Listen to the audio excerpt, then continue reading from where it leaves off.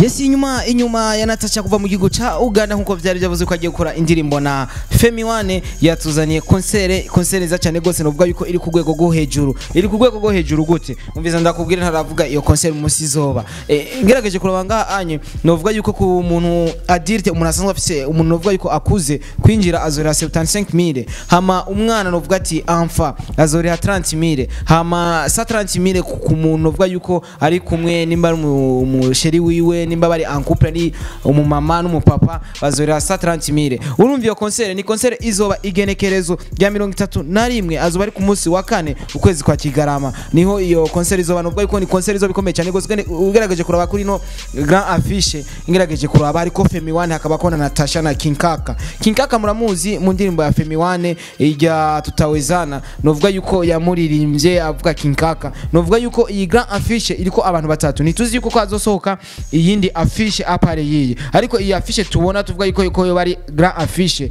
Iriko abantu batatu Femi One na Natasha kacaja hagati na King Kaka kandi biraboneka ugerageje kuraba kuri no afishe. Nta montage irimo. Novuga yuko ni picha baba barafatiye muri mu gihugu ca ca Kenya. Novuga yuko ko ariho baba barayifatiye.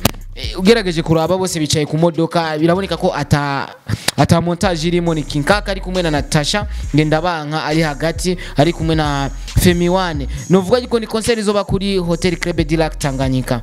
Eh urumva ni ibintu biryoshye cyane gose uramaze kumva concert ni 75000 gusa na 30000 ku mwana na 130 ari ikintu bita cha couple. Tugaragaje kuranga turabona DJ Ila ila muramuzi kaka Empire asanzwe ari wo mu gihugu ca Kenya. Eh akacabaho DJ Tuk Natasha ah, ava muri team Natasha. Novuga yuko ni concert nziza cyane gose n- concert zo kura Natasha ngayo mushira handi kuko ugaragaje kuraba n'amahera. Amahera si make. Benshi bashobora kwibaza bakavuga ati kwereke amahera ari menshi cyane. Ariko utahure yuko Natasha kuzana Femi One mu Burundi cyangwa kuzana King Kaka mu Burundi ndetse n'uno mu DJ nga tubona kuva mu gihugu ca Kenya si ikintu coroshe kuri ano mafaranga uja muri Club de De Lac Tanganyika. Hari ikindi kintu munsi banditse kuri Grand Affiche.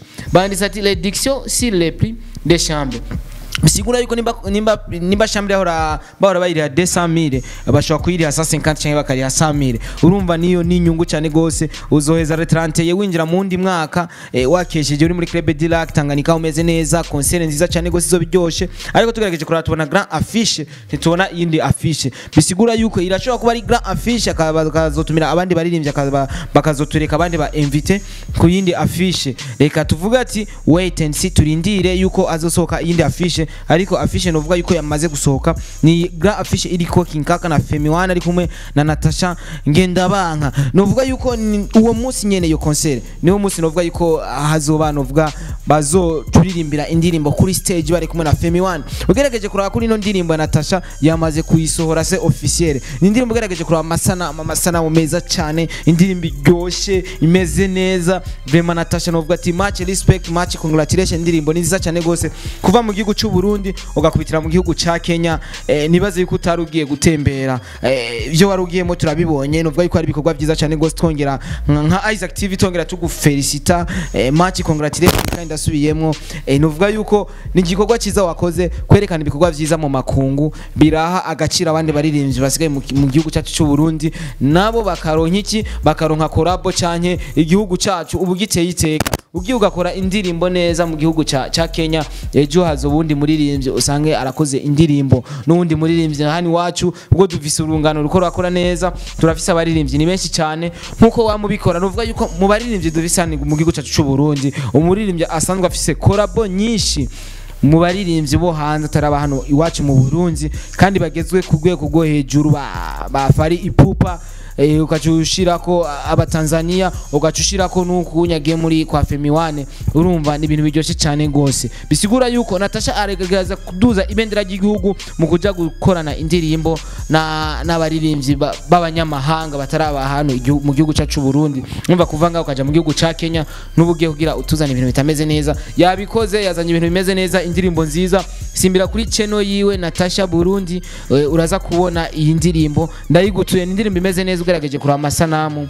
Indirimbo itambika indirimbo izodufasha eh, kuja mu wundi mwaka tumeze neza turyohewe ari ibintu bimeze neza. Ugerageje kuraba uraza kugerageza uraba iyo ndirimbo uraza kugira icyo uyivuze ko canke urashobora gukomanta nimba bikunda.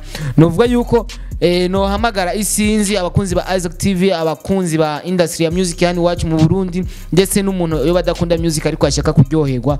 Eh, kuri iyo tariki igenekerezo ya mirongo itatu na rimwe ukwezi ukwezi kwa cumi na kabiri ariko ukwezi kwa kigarama azoba ari ku munsi wa kane. Niho uwo munsi iz- izobera ko iyo konsere ni ho tuzobona na performance y'iyo ndirimbo bari kumwe na Natasha. Indirimbo novuga yuko indirimbo itagiye kuvyorosha. Ni indirimbo nziza cyane iri mu mudiho umeze neza.